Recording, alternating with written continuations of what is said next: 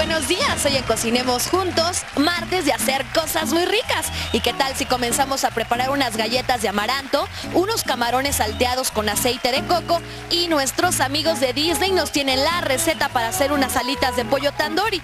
Y si quieres hacer negocio, hoy aprenderemos a hacer unas novedosas velas que nos ayudarán a armonizar nuestro hogar. Esto es Cocinemos Juntos. ¿Cómo están? Muy, pero muy, muy buenos días. Es un placer que nos permitan entrar en su pantalla el día de hoy. Gracias por... Ay, ¿hace cuánto que no me chiflaban?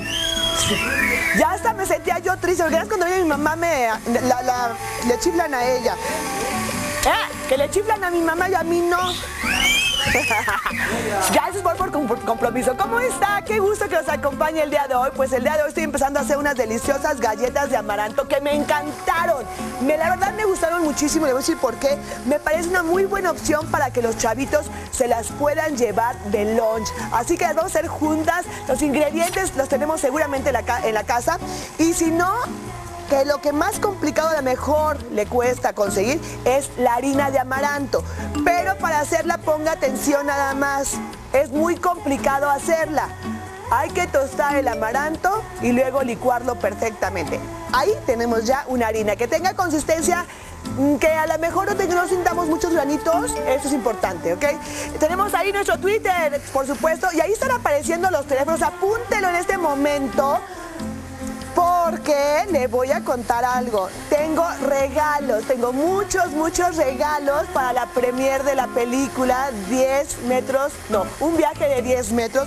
Y bueno, la verdad, está buenísima la película. Voy a empezar a poner azúcar a mi mantequilla, que estoy acremando. Y yo aquí ya tengo harina, harina de amaranto que hicimos y una pizca de sal. Siempre es muy importante que cuando estamos usando la batidora, bajar las paredes. Bajar la mantequilla de las paredes. Es muy importante. Las paredes de dónde las bajamos, no, ¿verdad? No se puede bajar, no. Bueno, la mantequilla de las paredes, porque ninguna batidora, como lo dice mi mamá, llega hasta el fondo de la cazuela. Así es como ese dicho. Nada más el fondo de la cazuela, la cuchara lo sabe. Es que, ¿verdad? ¿Cuántas versiones de chismes hay, no? O sea, de que el chisme, que me dijo, que me tornó, nada más realmente los hay. O los matrimonios, o los matrimonios cuando se disuelven, nada más ellos dos saben realmente qué pasó, ¿no? Es el fondo de la cazuela, la cuchara lo sabe. Entonces estamos acremando mantequilla. Vamos a esperar un poquito más de tiempo para que se puedan romper todos esos cristales. Nuestra mantequilla esté esponjosa y esté un poquito más clara de lo que acostumbramos verla. Y yo en mi procesador, con el motor en movimiento, a ver si me sale, porque quiero hacerlo para que ustedes lo estén viendo, voy a agregar las nueces.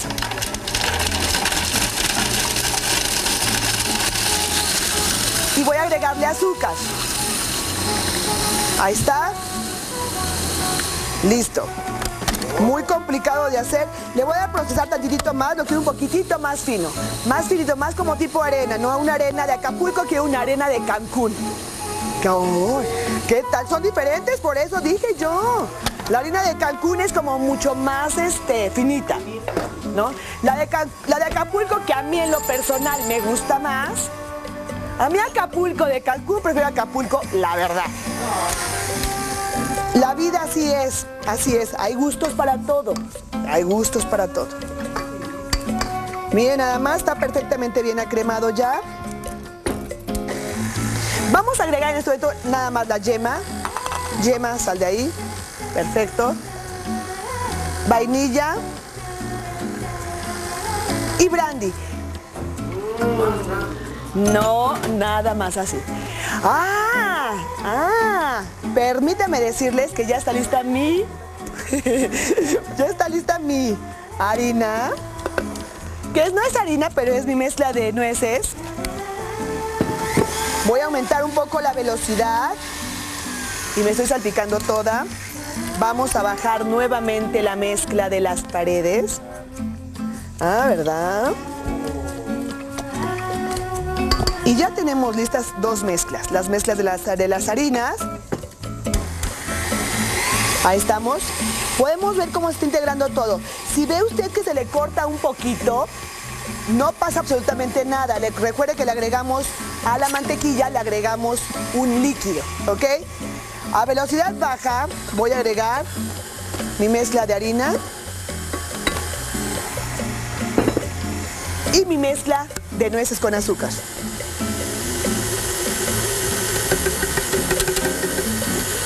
Voy a tener una masita un poco, este, ¿qué será? No tan líquida, un poquito espesa, ¿no? ¿Para qué? Para hacer mis galletas perfectamente. Podemos verla, aquí está ya. Esta mezcla está aguadita.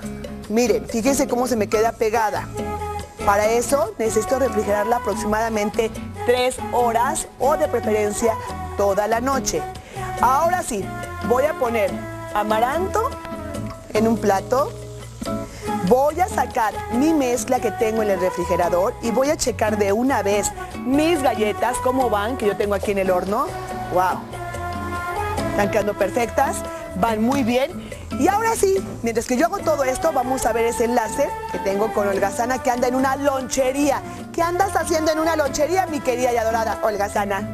Hola Mani, hola Mani público, buenos días. Pues miren nada más que hoy vamos a recordar esos tiempos, ¿se acuerdan ustedes de esas loncherías que había reteartas aquí en el DF? Bueno, rescaté una de ellas, todavía de las que quedan, donde hacen unas cosas deliciosas y los güeros están bien guapotes. No se muevan porque en un momento vamos a comer bien sabroso.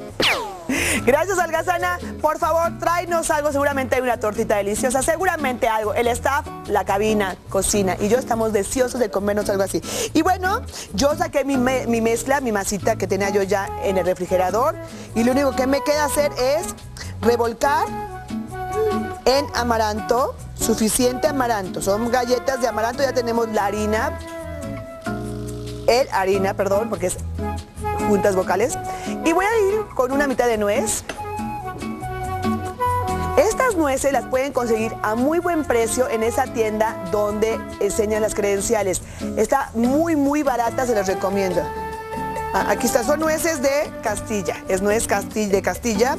son las que usan para los chiles en hogada. Y miren nada más, que lo mejor sería que yo hiciera esto, pero con la misma nuez se puede hacer perfectamente.